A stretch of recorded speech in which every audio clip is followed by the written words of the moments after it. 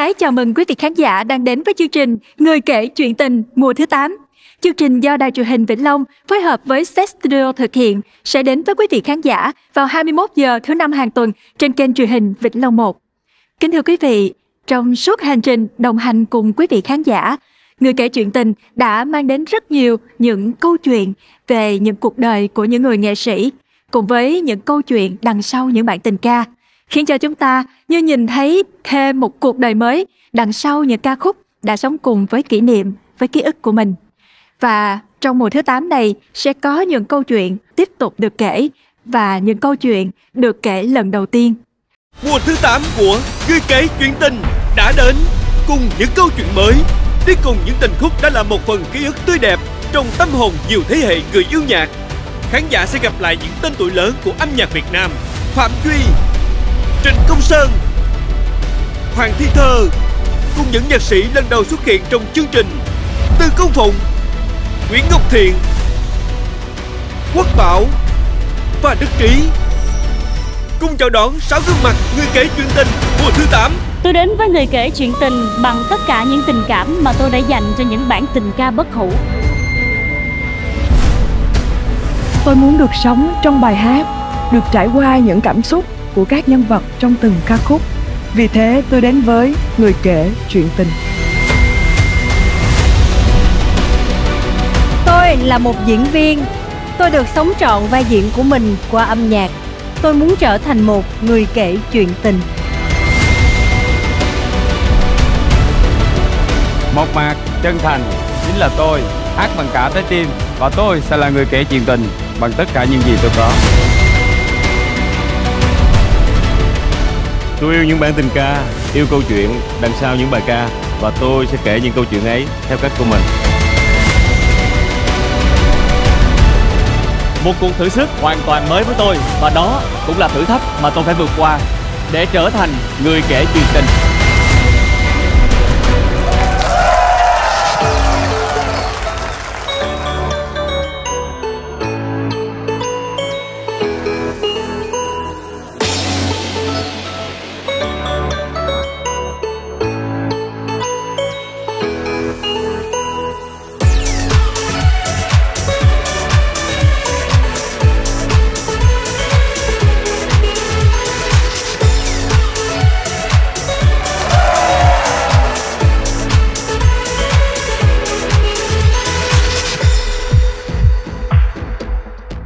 Và tóc em bay trong chiều gió lòng trời làm cơn mưa xanh dưới những hàng mê.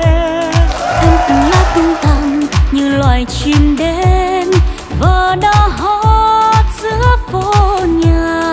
ôm cuộc sống trong tay bên đời quá rộng tuổi thân tiên yêu dấu dưới ngôi trường kia. Em cùng đó hoa lan hay quỳnh hương trắng thơm ngát từ đất đai quê nhà có tình yêu.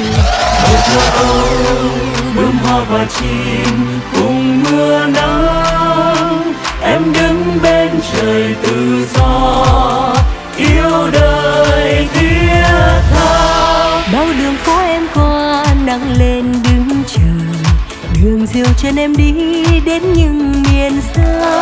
Thắm ruộng đất bao la, những làng quê cũ mùa cây trái níu chân về. Như là những bông hoa trong thành phố này. Tuổi đời mênh mông quá, búp non đầu cây. Em về giữa thiên nhiên, em cười, em nói như sóng đùa biển khơi.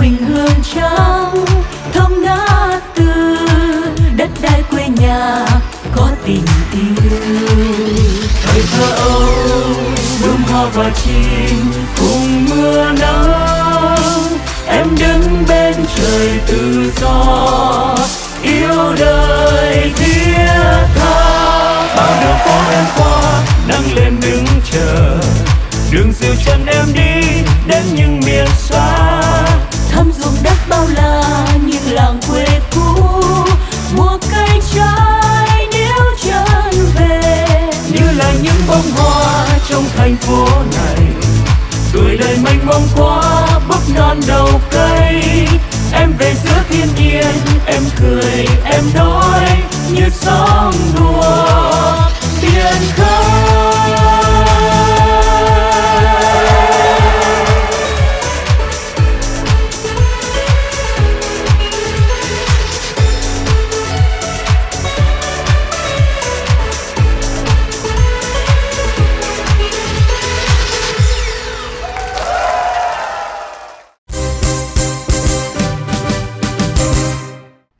giờ trước khi đến với câu chuyện tình đầu tiên, chúng ta hãy cùng chào đón các thành viên ban giám khảo.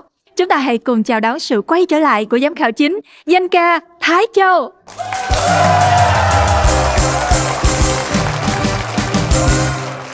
Và bây giờ chúng ta hãy cùng chào đón hai khách mời của vòng thi thứ nhất, danh ca Họa Mi và ca sĩ Mỹ Lệ. Xin kính chào ban giám khảo và rất vui mừng được chào đón ban giám khảo đến với vòng thi đầu tiên của Người kể chuyện tình mùa thứ 8. Ngay bây giờ thì Phương Uyên tin chắc rằng quý vị khán giả cũng giống như Phương Uyên rất mong muốn được lắng nghe những câu chuyện thú vị đến từ ban giám khảo chia sẻ trong không gian này. Xin được kính mời ban giám khảo sẽ trở về vị trí danh dự của mình.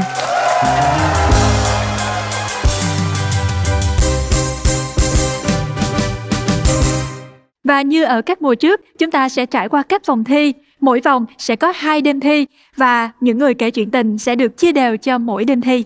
Kính thưa quý vị, vừa rồi, 6 người kể chuyện tình của chúng ta đã được giới thiệu qua ca khúc Tuổi đời mênh mông, một sáng tác rất được yêu thích bởi nhạc sĩ Trịnh Công Sơn. Nhạc sĩ Trịnh Công Sơn và những tình khúc bất hủ của ông đã xuất hiện ngay từ mùa đầu tiên của chương trình. Nhưng vẫn còn rất nhiều những câu chuyện chưa được kể, còn những bóng hồng, những nàng thơ chưa được nhắc đến. Và trong mùa thứ 8 này, âm nhạc của Trịnh Công Sơn sẽ trở lại với những bài hát ở giai đoạn sau trong sự nghiệp của ông, cùng với những nhân vật đã góp phần làm nên những giai thoại, làm nên những câu chuyện tình nghệ sĩ thật đẹp trong những năm tháng qua.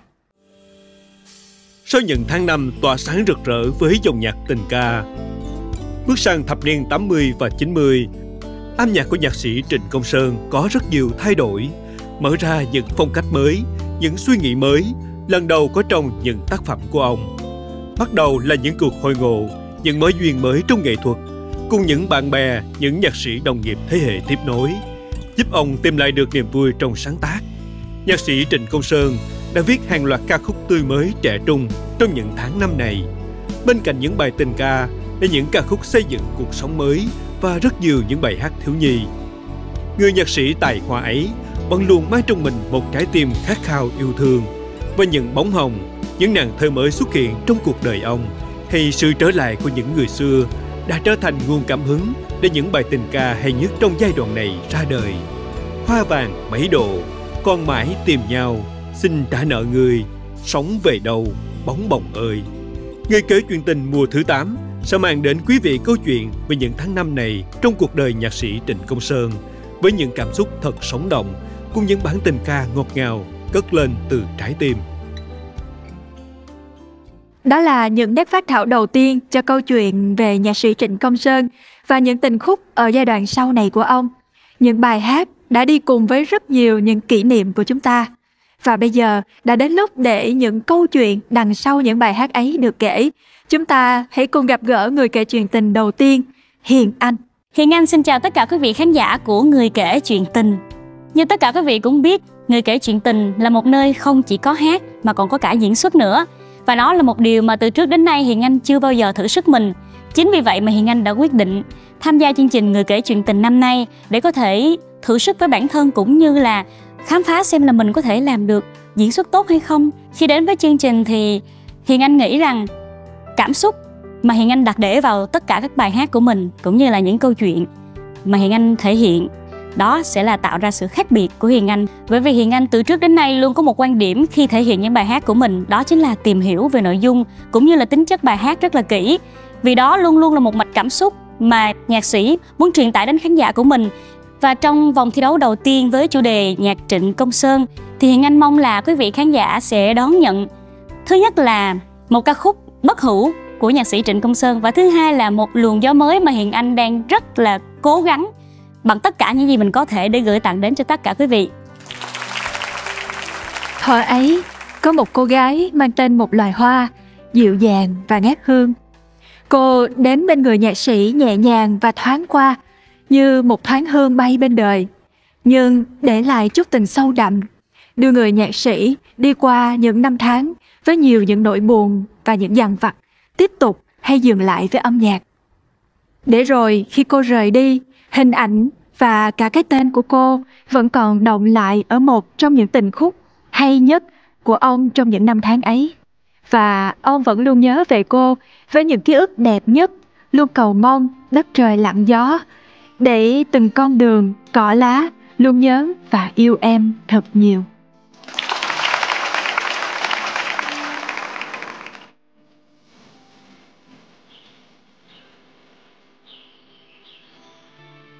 Những chiếc xe hoa gánh cả trời thương nhớ mùa thu Hà Nội. Cuộc đời hát rong của mình, tôi đã gắn bó với Quế, Đà Lạt, Sài Gòn. Còn với Hà Nội thì lại luôn là một nỗi nhớ da diết của những tâm hồn đồng điệu. Với mộ điệu, vốn dĩ vẫn vô cùng ngưỡng mộ tình bạn vong niên tri kỷ giữa nhạc sĩ Văn Cao và nhạc sĩ Trịnh Công Sơn.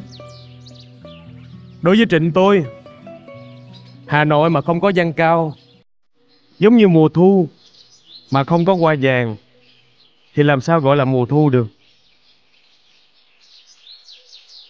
Cô Hàng Hoa ơi, làm ơn gối cho tôi 21 cành hoa vàng đẹp nhất. Cảm ơn cô. Hôm nay là sinh nhật của Hoàng Lan. Nhờ cô mang đến tặng cho cô ấy 21 cành hoa vàng này. Yêu em một đóa hoa vàng, yêu em một phút hoàng lan tình cờ. Sao anh không tự mình đến mà trao hoa tận tay cho cô ấy? Cách yêu của anh từ trước tới nay vẫn cứ lãng đảng, vu vơ vậy sao? Tôi chọn sống một mình. Tự trói buộc cuộc đời của mình vào những thân phận con người.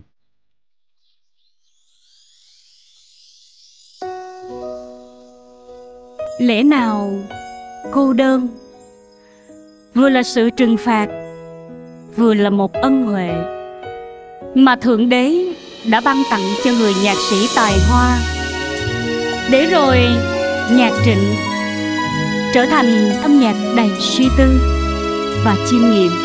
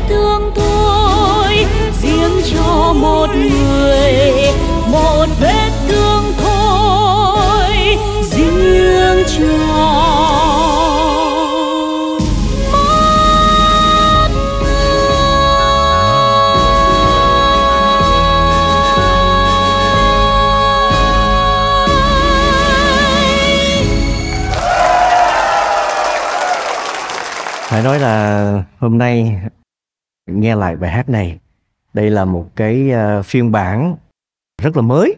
Cái chương trình người kể chuyện tình, nó cho chúng ta thêm một cái kỹ năng kịch diễn xuất thoại. Em nói rất là chững chạc, rõ từng chữ từng chữ, rất là chững chạc. Và cách hát cũng vậy. Có khi có có đoạn hát cổ điển dàn trải, tư sự và có đoạn cao trào theo cái hòa âm hiện đại rồi lại lên tông nghĩa là phải nói là lúc đó là, ha, phá cách đấy. Thì anh có lời khen là làm mới cái bài hát đã bao nhiêu năm rồi. Cũng ờ, nhiều ca sĩ hát qua rồi. Hôm nay, nhân cái người kể chuyện tình, và hiện anh đã làm mới cái bài hát. Cảm ơn hiện anh nhiều. Cảm ơn anh. Giọng của em rất là dễ thương.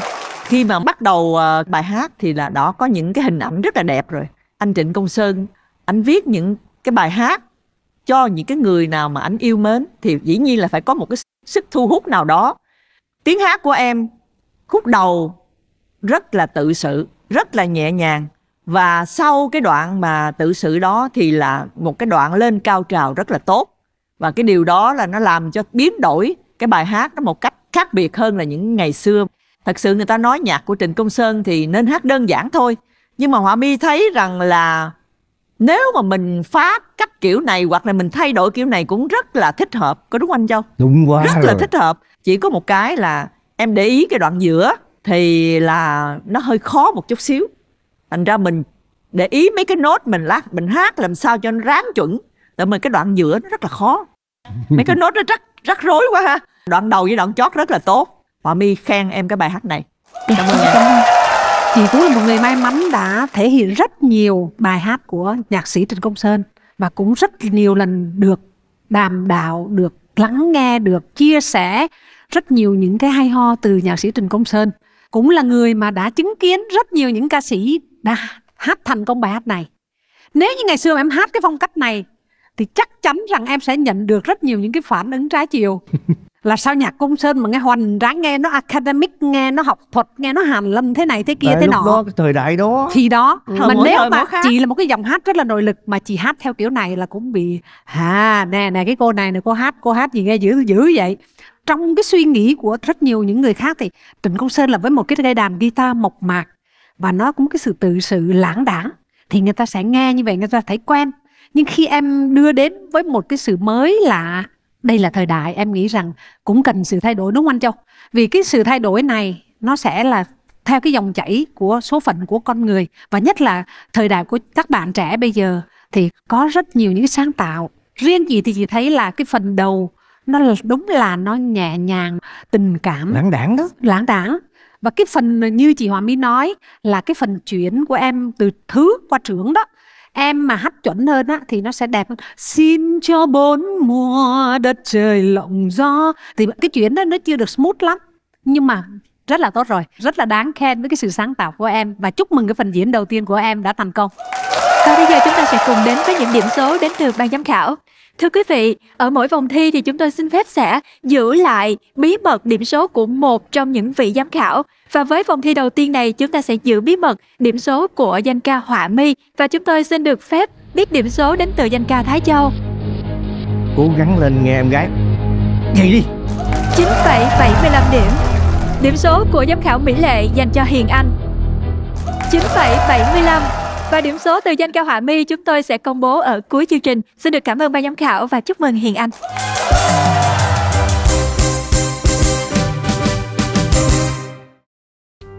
Xin chào ờ, tất cả quý khán thính giả của chương trình Người kể chuyện tình. Mình là Trần Minh Dũng. Và đến với chương trình Người kể chuyện tình 2024, Dũng uh, hy vọng là sẽ mang đến uh, cho uh, người xem những cái tiết mục mới nhất trong cái vai trò cũng mới nhất mà tất cả ờ, quý vị khán giả những người đã từng yêu thương Dũng, từng nghe Dũng hát chưa à, từng xem. À, bởi vì trong cái chương trình người cái chương tình này thì có hai cái yếu tố là ngoài cái việc mà mình hát ra mình còn phải là hóa thân vào cái nhân vật trong cái câu chuyện bài hát và mình sẽ diễn xuất để lột tả cái cảm xúc của nhân vật dẫn dắt vào trong cái bài hát. Đối với Dũng thì âm nhạc của cố nhạc sĩ Trịnh Công Sơn là một cái ờ, điều gì đó rất là đặc biệt và ờ, Dũng không nghĩ là mình sẽ ờ, làm cái gì nó nó quá mới mẻ và quá xa lạ đâu. Dũng sẽ cố gắng mình hát bằng cái cảm xúc thật của mình qua những cái tác phẩm của cố nhạc sĩ Trịnh Công Sơn để gửi đến người nghe bằng một cái cảm xúc chân thật nhất. Hy vọng là mọi người sẽ cảm nhận được cái điều này ở Dũng. Ngày xưa, trong một bài hát của mình, Trịnh Công Sơn đã thốt ra những lời ngậm ngùi. Từng người tình bỏ ta đi như những dòng sông nhỏ. Ôi, những dòng sông nhỏ. Lời hẹn thề là những cơn mưa. Nhưng nắng mưa là chuyện của trời. Những cơn mưa vẫn sẽ đến. Những người tình vẫn sẽ tiếp tục đi qua cuộc đời của người nghệ sĩ. Để lại những niềm nhớ không nguôi đi vào từng lời ca, điệu nhạc. Em đi bỏ lại con đường, cỏ dại vô thường nhớ em. Nỗi nhớ ấy sẽ được thể hiện trong câu chuyện tình tiếp sau đây với người kể chuyện tình Trần Minh Dũng.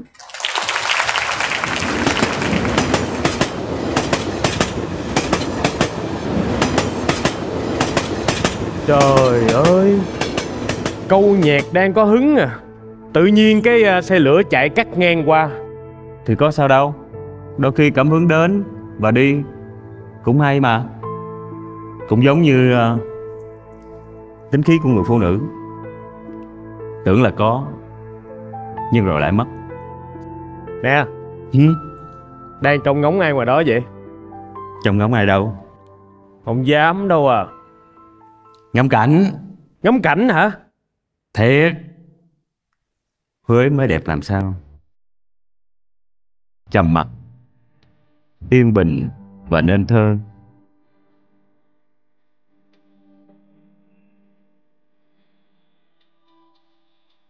Mà nè Sơn. Ừ? Tự nhiên sao giờ này à, Chưa thấy Thảo về nữa ta. Tôi nghĩ là Thảo cho ông leo cây rồi. Ông lại trêu tôi. Tôi biết Thảo về rồi. Trời đất ơi Từ nãy giờ trong nhà Có ai bước vô đâu mà tự nhiên không biết Thảo về? Thảo có một mùi thơm rất là chân Mùi hương không lẫn vào đâu được. Chưa thấy người đâu Nhưng mùi hương Đã đến trước rồi. À, Anh Thảo. Sơn. Hôm qua Anh Sơn có tới lớp em để hát chiêu đãi. Cả lớp em ai cũng thích hết. Có gì đâu. Nếu như mà Thảo thích Thì lần sau tôi sẽ ôm đàn Sang hát cho Thảo và bạn bè Thảo cùng nghe. Biết đâu Tiếng hát Nói thay tiếng lòng mình. Em e là Chắc không còn nhiều dịp nữa đâu. Ít bữa nữa Em đi lấy chồng rồi. Tới lúc đó Chắc khó còn được nghe anh Sơn hát nữa.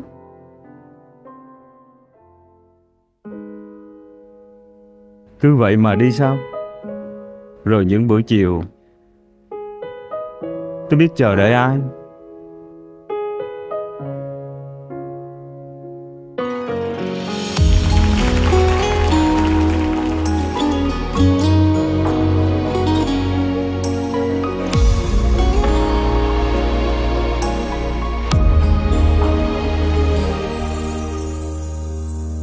Bỏ mặc căn nhà bỏ mặc tôi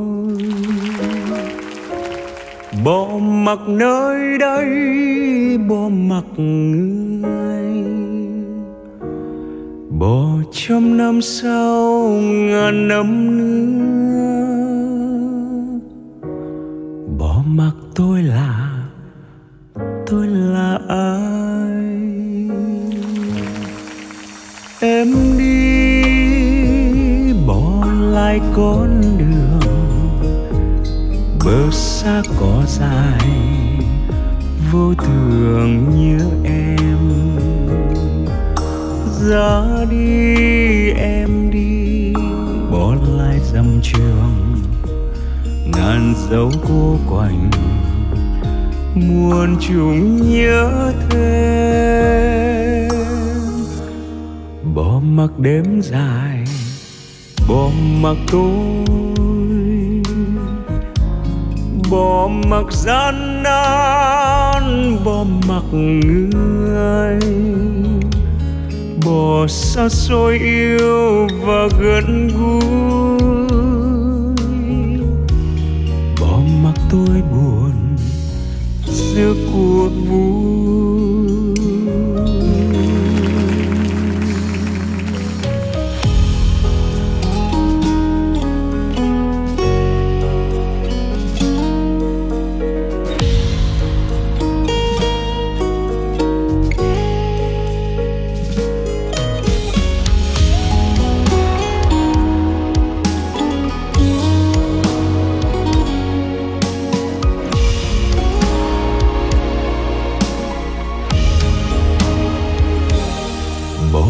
Mặc mưa về, bỏ chiều phai. Bỏ mặc hư vô, bỏ ngầm nguy bỏ đêm chưa qua, ngày chưa tới. Bỏ mặc tay buồn, không bàn tay.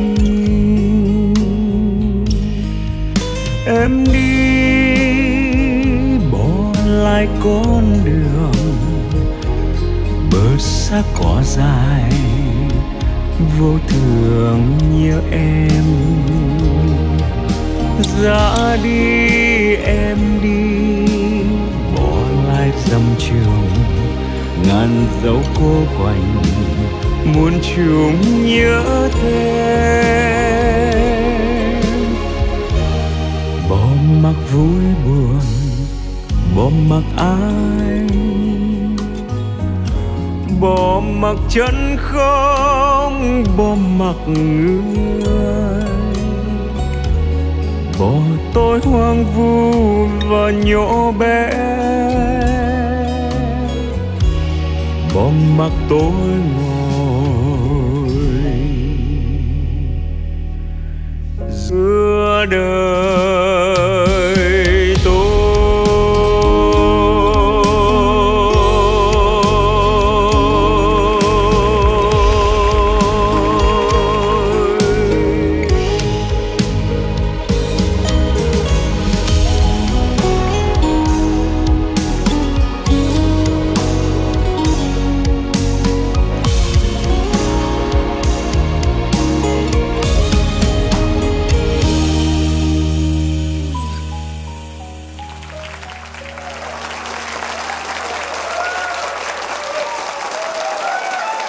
bài hát này em chọn cũng khá là hợp, rất là hay.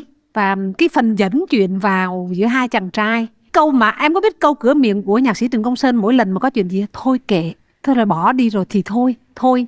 Chứ không có trách móc, không có chấp hờn, không có gì hết trơn. Mọi người cứ nghĩ là anh Sơn là một người rất là thiền. Thực ra cái thiền đây không phải là bằng cái hành động mà anh đã thiền từ trong tâm. Một con người người ta luôn luôn cái gì cũng nghĩ tốt đẹp cho người khác và thôi kệ. Cái việc đó là như thế, cho qua đi. Nó dễ dàng như một cái cơn gió cuốn đi về đó. Chị thấy đó thấp thoáng một hình ảnh của nhạc sĩ Trịnh Công Sơn như vậy và cái giọng hát của em á, chị rất thích, rất dày, rất đẹp và rất phù hợp với bài hát này. Tuy em chưa có, em biết cách để em điều khiển cái cột hơi của em và cái âm cử giọng á, thì em bị to nhỏ, nó bị không đều. Mình sẽ kiểm soát cái điều đó hơn để làm cho nó mềm mại, mượt mà hơn và từ to đến nhỏ, nó sẽ điêu luyện hơn nữa và chị tin rằng không chỉ là vòng thi này với những vòng thi khác em sẽ tỏa sáng với một cái dòng hát rất là rất là dày và rất là nội lực cảm ơn em em cảm ơn chị Hôm nay lần đầu tiên Họ My nghe Dũng hát rất là thích. Tự vì cái giọng rất là tốt, đầy đặn, rất là trầm. Khi mà hát cái bài hát này đó, như uh, Mỹ Lệ nói là to nhỏ không đều, như họ My lại thích như vậy. Tự vì sao? Có đoạn em hát như nói, có đoạn em hát như là hát và cái đoạn em hát như là tự sự. Hình ảnh của một anh Trịnh Công Sơn bình thường thì như họ mi cũng đã biết, Mỹ Lệ cũng đã thấy rồi phải không? Anh Thái Châu cũng đã thấy tụi này thấy là mỗi ngày là tụi chị đều gặp anh Trịnh Công Sơn. Họa mi thì cũng hay nói chuyện và ảnh có giống như anh em nói chuyện vậy đó. Hình ảnh của em rất là giống, tại con cái cặp mắt kiến cũng ốm ốm. Bây giờ nói tóm lại là cái bài hát này Họa mi rất hài lòng. Cảm ơn em nhé. Dạ. Thì à, Dũng đã nghe hai ý của hai giám khảo đây, Hòa My với là Mỹ Lệ. Tôi cũng rất thích là cái cái chuyện mà cái cách hát nó, nó, nó ung dung thông thả tự tại, không có cái gì quan trọng hết. Giống tính chất của anh Trịnh Công Sơn. Đúng là em có nghiên cứu về anh Trịnh Công Sơn. Ảnh buồn không có thể hiện cái mặt nha. Dạ không. Buồn ở trong tâm. Cái cách hát của em dàn trải tư sự rõ lời và cảm xúc tốt nữa. Chúc mừng em cái tiết mục Dạ, này. Còn bây giờ chúng ta sẽ được biết những số điểm mà ban giám khảo dành cho Trần Minh Dũng. Dạ, xin mời điểm số từ giám khảo Mỹ Lệ. 9,75 điểm. Và điểm số từ danh ca Thái Châu dành cho Trần Minh Dũng là 10 điểm. Hay quá. Chúc mừng anh.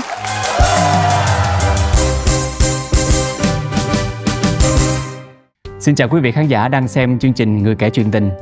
Ở trong Người kể chuyện tình này, Liên Minh Tuấn sẽ vừa được thử sức ở cái lĩnh vực diễn xuất và cả lĩnh vực hát và thể loại ở đây là nhạc tình. Bản thân Liêm Minh Tuấn thì à, đi hát mười mấy năm nay chủ yếu là dòng nhạc đen sôi động cho nên dòng nhạc tình rất là thu hút Liêm Minh Tuấn vì à, ở trong nhạc tình thì mình phải thả cảm xúc vào rất là sâu và phải có sự trải đời để mình thấm thía qua từng câu hát đó cũng là một cái thử thách rất là lớn với Liêu Minh Tuấn và rất là hy vọng rằng quý vị sẽ luôn ủng hộ cho Liêu Minh Tuấn với hành trình chinh phục dòng nhạc tình ở người kể chuyện tình ạ. Câu chuyện về nhạc sĩ Trịnh Công Sơn và bóng hồng có ý nghĩa lớn nhất đằng sau những bài hát nổi tiếng của ông trong giai đoạn sáng tác sung sức nhất. Giữa họ đã có hàng trăm lá thơ, đã có cả trăm bài hát với bóng dáng nàng thơ ấy. Sau nhiều năm xa cách, họ gặp lại nhau như để trả cho nhau những thương nhớ sau bao xa cách vời vợi. Dù có bao nỗi khổ đau trong những tháng ngày xa nhau, nhưng chỉ cần nhìn thấy nhau là được. Bao nhiêu năm bỗng lại nhiệm màu, trả lại một lần, quên hết tình đau.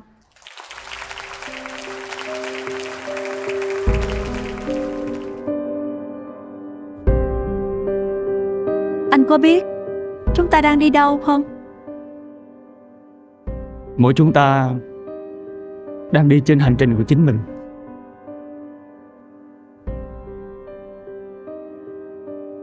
Chẳng phải bản chất của con người là đi, là học, là tìm sao? Vậy anh đang tìm điều gì? Chúng ta tìm về những điều tưởng chừng như xa xôi Nhưng thực chất là tìm về bản ngã, Tìm về cái tôi của mình.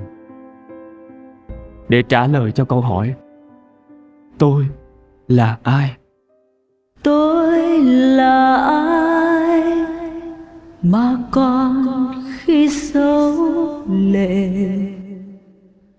Tôi là ai mà còn chân gian thế?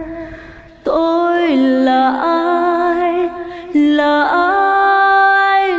Là ai? Mà yêu quá đời này. Tôi nhớ em nhiều lắm. Nỗi nhớ cứ dai dẳng trong suốt hành trình hơn 20 năm. Nỗi nhớ cứ dây dứt như một dòng nước ngầm không sao quên lại. Có những hạnh phúc không bao giờ chúng ta có thể chạm tới được. Những kỷ niệm đẹp của anh, tất cả đã được lưu giữ trong những bài hát. Hãy để cho người khác giữ. Còn mình thì lãng quên.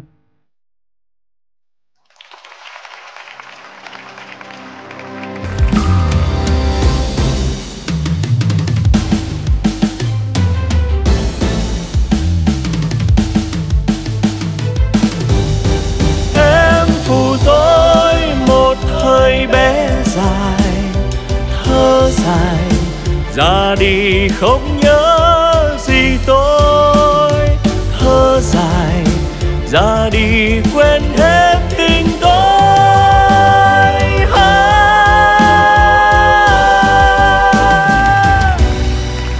Hai mươi năm em trả lại rồi. Trả nợ một đời xa vắng vòng tay.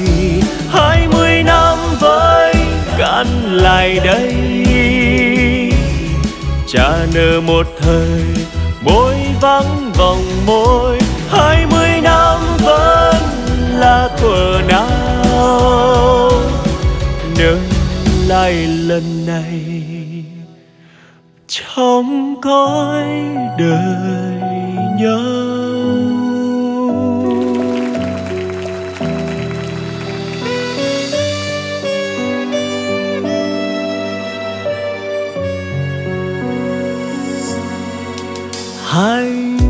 năm xin trả nợ người. Chẳng nợ một thời em đã bỏ ai. Hai mươi năm xin trả nợ dài. Trả nợ một đời em đã phụ tôi. Em phụ tôi một hơi bé dài thơ dài, ra đi không nhớ gì tôi. Thơ dài, ra đi quên hết tình tôi.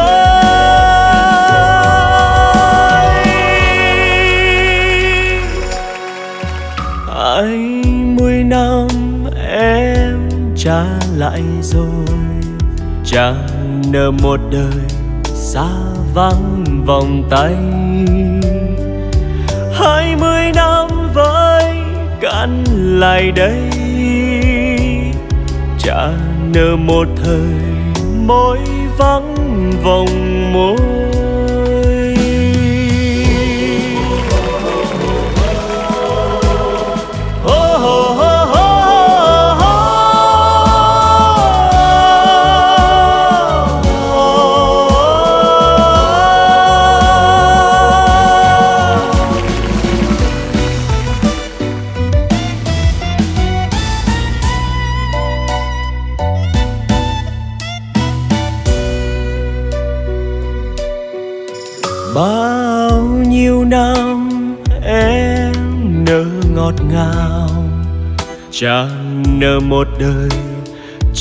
Hết tình sâu.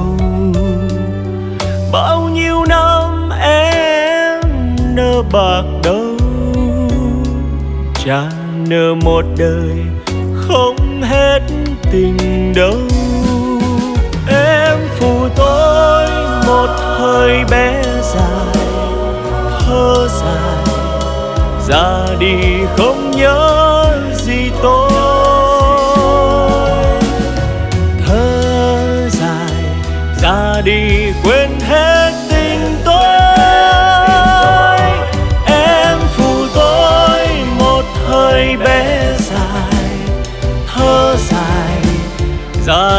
Không nhớ gì tôi.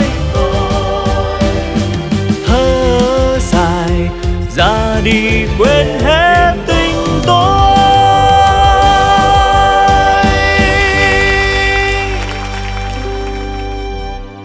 Bao nhiêu năm bỗng lại nhiệm màu, chẳng nỡ một lần quên hết tình đau. Lá là thuở nào.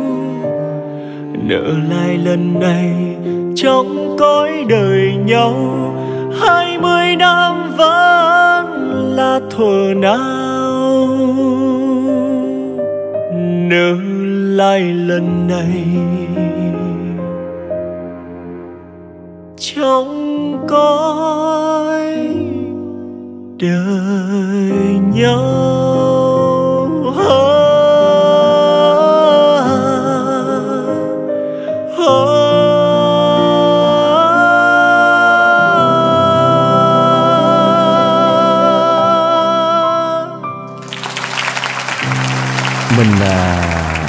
Làm mới một cái à, ca khúc nào đó mà nhất là những cái sáng tác của anh à, Trần Công Sơn thì phải cân nhắc cho nó kỹ càng. Và cái điều quan trọng á là mình đừng làm khó bản thân mình. Thì em đến với lại cái bài hát này với cái hòa âm này nó làm khó em trong cái đoạn đầu. Dễ bị trao đảo. Trao đảo. À cái giọng em rất là vang cái giọng đẹp lắm. Khi mà em hát vô cái bài vô rồi lạ. à là cảm xúc dạt dào hát tốt chững chạc mà rõ lời ha mà cái giọng rất đẹp. Mà cái đoạn đầu á tại vì hòa âm như thế thì làm mình khó lắm. Bập bềnh khó quá. trao đảo lắm. Thì à, cái này là một cái kinh nghiệm. Anh góp ý như thế. Dạ, cảm ơn em. Em có cái giọng hát cao âm vực rộng giọng hát tốt ngoại hình sân khấu sáng. Mọi thứ ở em rất tuyệt vời. Cái cảm xúc của em đặt để cũng rất đẹp. Cũng biết xử lý bài hát chỗ to chỗ nhỏ. Và cái cảm xúc của em đó nếu như không bị cái khó mà anh Châu mới nói đây thì em tuyệt vời luôn á. Bài hát xin trả lời người là một trong những bài hát rất hay của nhạc sĩ Trịnh Công Sơn. Nó dành xé và nó khúc khuỷu cao trào. bài hát này không phải một người hát, cho nên mình cần một cái sự mới mẻ, một cái sự riêng biệt của mình, một cái cá tính âm nhạc của mình. Nhưng cái quan trọng là em này cái hiệu quả trên sân khấu cuối cùng là cái quyết định. Vì cái phần phối đó nó không hiệu quả, nó sẽ làm cho cái phần diễn của mình nó bị giảm đi. Và chỉ mong chỉ tin rằng với giọng hát này thì em sẽ đi xa hơn trong chương trình này Cảm ơn em. Bài này thì cô Họa Mi có hát. Thành ra cô Họa Mi rất là cảm cái bài hát này. Hát cái bài này phải có tâm sự. Thì cái bài này đó nó có cái đoạn cao trào mà em vô lần đầu tiên. Những cái hợp âm mà đặt vô những cái đoạn đó làm cho em bắt không được. Em có ý tưởng rất tốt. Theo cô thấy như vậy là cái đoạn đó để nói lên cái sự sự bứt phá trong lòng rồi sau đó mới trở lại cái đoạn đầu em ái là tôi phải trả nợ cuộc đời như thế nào đó để một cái lời đau khổ. Nếu mà em chụp được cái nốt mà để mà vô mà thay đổi đó thì sẽ rất là hay nếu mà em hoàn toàn được chụp được. là siêu rồi đó. Ờ, thành ra rất là khó. lắm. tất nhiên là em phải có rất nhiều tình cảm trong cái trái tim của em. Em mới suy nghĩ ra những cái điều như vậy. Thành ra mình rút kinh nghiệm cho kỳ tới. Nha Leon Minh Tuấn. Và bây giờ chúng ta sẽ cùng biết điểm số mà ban giám khảo dành cho Leo Minh Tuấn. Đầu tiên xin được mời ca sĩ Mỹ Lệ 9,5 điểm Và điểm số mà danh ca Thái Châu dành cho Leo Minh Tuấn là cố gắng lên em ơi nha 9,75 điểm. Xin cảm ơn những số điểm và những lời góp ý quý giá từ ban giám khảo và chúc mừng anh đã hoàn thành phần thi của mình.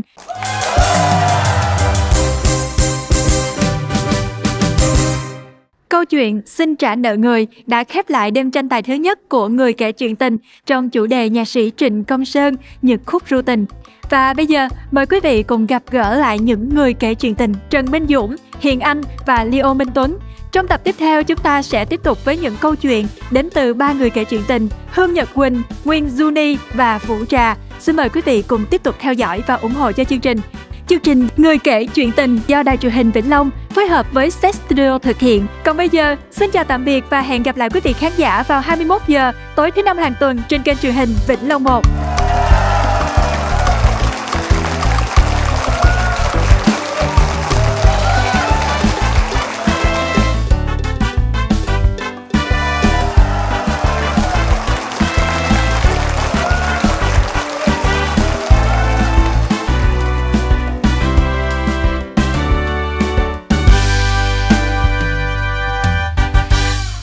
Kể chuyện tình trong chủ đề nhạc sĩ Trịnh Công Sơn, ba ca sĩ Vũ Trà, Hương Nhật Quỳnh và Quyên Juni. Mỗi người sẽ mang tới một câu chuyện về những thời khắc quan trọng đầy ý nghĩa trong cuộc đời nhạc sĩ Trịnh Công Sơn. Tình yêu, thân phận và gia đình. mẹ bỏ con đi mẹ bỏ con đi mẹ bỏ con đi đường xa vạn dặm. Mẹ bỏ con đi đường xa hoạn nạn. Họa Mi rất là cảm động. Xin lỗi. Đón xem Người kể chuyện tình vào lúc 21 giờ thứ năm ngày 21 tháng 11 năm 2024 trên truyền hình Vĩnh Long 1. Phát lại vào lúc 13 giờ thứ sáu, ngày 22 tháng 11 năm 2024 trên truyền hình Vĩnh Long 2.